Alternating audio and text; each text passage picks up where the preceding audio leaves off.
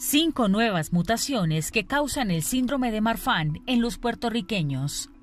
El síndrome de Marfan es una enfermedad sistémica, es decir, tiene la capacidad de afectar el cuerpo entero. Las manifestaciones clínicas van desde afectaciones en el sistema ocular, esquelético, cardiovascular, hasta afectaciones del sistema óseo.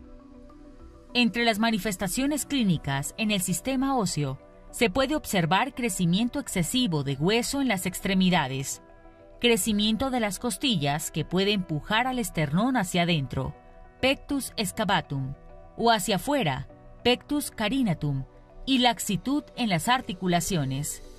El síndrome de Marfan es causado por mutaciones en el gen FBN1, fibrilina 1, situado en el cromosoma 15q211. Hasta el momento, se habían identificado más de 600 mutaciones genéticas en el gen de la fibrilina, pero un nuevo estudio puertorriqueño, realizado en pacientes de diferentes clínicas genéticas, dio luz sobre cinco mutaciones nuevas no reportadas antes. 1 Mutación 4505G, variante en el exón 36, que afecta a residuos de cisteína. 2.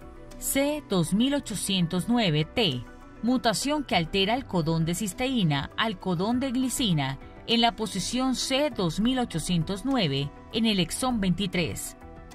3. 6515, 6516T, complementos del gen en el exón 53, que resulta en un codón de detención prematuro de la secuencia.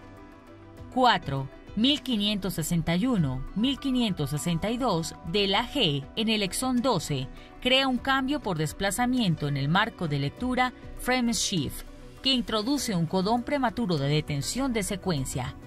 5. C4750 una mutación que altera el codón del ácido glutámico al codón de lisina en la posición C4750 en el exón 38.